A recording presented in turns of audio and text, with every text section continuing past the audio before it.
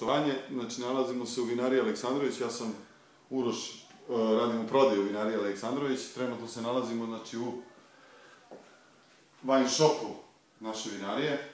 Vinarija postoji nekih 20 godina, od 94. godine, bavi se isključivo proizvodnjom vina sa sobstvenih vino, iz sobstvenih vinograda. 75 hektara vinograda ima u posedu, u punom rodu.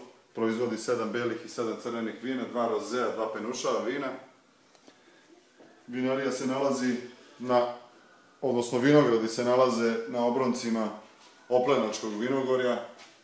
Kapaciteti vinarije su nekih 300.000 litara prerade, od toga nekih 250.000 boca se proda na godišnjem nivou. 70% ide na domaće tržište, 30% ide u izvoz. Najpoznatije vino kući je vino svakako Triumf, koje se pravi po tradicionalnoj recepturi Živana Tadića Podromara iz Kraljevske vinarije, koji je emigrirao u Kanadu 30. godina i to je to u principu.